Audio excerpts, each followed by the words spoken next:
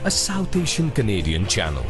ਅੰਮ੍ਰਿਤਪਾਲ ਸਿੰਘ ਦੇ ਇੱਕ ਹੋਰ ਸਾਥੀ ਉੱਤੇ ਐਨਐਸਏ ਲਗਾ ਦਿੱਤਾ ਗਿਆ ਹੈ ਅੰਮ੍ਰਿਤਪਾਲ ਦੇ ਗਨਮੈਨ ਵਰਿੰਦਰ ਜੋਹਲ ਉੱਤੇ ਇਹ ਸਖਤ ਕਾਨੂੰਨ ਲਗਾਇਆ ਗਿਆ ਜਾਣਕਾਰੀ ਅਨੁਸਾਰ ਵਰਿੰਦਰ ਸਿੰਘ ਜੋਹਲ ਏਕੇਐਫ ਵਿੱਚ ਸ਼ਾਮਲ ਨੌਜਵਾਨਾਂ ਨੂੰ ਹਥਿਆਰਾਂ ਦੀ ਵਰਤੋਂ ਕਰਨ ਦੀ ਸਿਖਲਾਈ ਦਿੰਦਾ ਸੀ ਵਰਿੰਦਰ ਜੋਹਲ ਅੰਮ੍ਰਿਤਪਾਲ ਦੇ ਨਾਲ ਰਹਿੰਦਾ ਸੀ ਅਤੇ ਉਸ ਦਾ ਕਾਫੀ ਕਰੀਬੀ ਸੀ ਉਸ ਉੱਤੇ ਐਨਐਸਏ ਲਗਾਇਆ ਗਿਆ ਹੈ। ਉਸ ਨੂੰ ਵੀ ਅਸਾਮ ਦੀ ਡਿਬਰੂਗੜ੍ਹ ਜੇਲ੍ਹ ਵਿੱਚ ਭੇਜ ਦਿੱਤਾ ਗਿਆ ਹੈ। ਵਰਿੰਦਰ ਜੋਹਲ 8ਵਾਂ ਵਿਅਕਤੀ ਹੈ ਜਿਸ ਨੂੰ ਅਸਾਮ ਭੇਜਿਆ ਗਿਆ ਹੈ। ਇਸ ਤੋਂ ਪਹਿਲਾਂ 7 ਹੋਰ ਨੌਜਵਾਨਾਂ ਨੂੰ ਜਾਂ ਇਹ ਕਹਿ ਲਈਏ ਕਿ ਅੰਮ੍ਰਿਤਪਾਲ ਦੇ ਉਹਨਾਂ ਕਰੀਬੀਆਂ ਨੂੰ ਅਸਾਮ ਦੀ ਜੇਲ੍ਹ 'ਚ ਭੇਜਿਆ ਗਿਆ ਜੋ ਵਾਰਸ ਪੰਜਾਬ ਸੰਸਥਾ ਦਾ ਪੂਰਾ ਕੰਮ ਦੇਖਦੇ ਸਨ ਇਸ ਨਾਲ ਹੀ ਵਰਿੰਦਰ ਜੋਹਲ ਅੱਠਵਾਂ ਸ਼ਖਸ ਹੈ ਜਿਸ ਨੂੰ ਹੁਣ ਅਸਾਮ ਦੀ ਜੇਲ੍ਹ ਦੇ ਵਿੱਚ ਭੇਜਿਆ ਗਿਆ।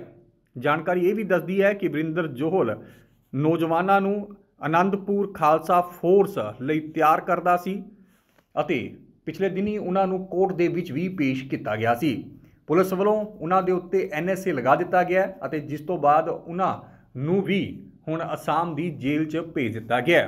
ਹੁਣ ਵੇਖਣਾ ਹੋਵੇਗਾ ਕਿ ਪੰਜਾਬ ਪੁਲਿਸ ਹੋਰ ਕਿੰਨੇ ਲੋਕਾਂ ਦੇ ਉੱਤੇ ਐਨਐਸਏ ਲਗਾਉਂਦੀ ਹੈ ਕਿਉਂਕਿ ਹੁਣ ਇਸ ਦੀ ਤਾਦਾਦ 8 ਹੋ ਚੁੱਕੀ ਹੈ, ਕਿਉਂਕਿ ਲਗਾਤਾਰ ਅੰਮ੍ਰਿਤਪਾਲ ਦੇ ਉਹਨਾਂ ਸਾਥੀਆਂ ਦੇ ਉੱਤੇ ਐਨਐਸਏ ਲੱਗ ਰਿਹਾ ਹੈ, ਜੋ ਅੰਮ੍ਰਿਤਪਾਲ ਦੇ ਬਹੁਤ ਜ਼ਿਆਦਾ ਕਰੀਬੀ ਸਨ ਜਾਂ ਇਹ ਕਹਿ ਲਈਏ ਕਿ ਅੰਮ੍ਰਿਤਪਾਲ ਦੀ ਜੋ ਨਵੀਂ ਆਰਮੀ ਬਣ ਰਹੀ ਸੀ, ਉਸ ਉੱਤੇ ਉਹ ਲਗਾਤਾਰ ਕੰਮ ਕਰ ਰਹੇ ਸਨ A South Asian Canadian channel.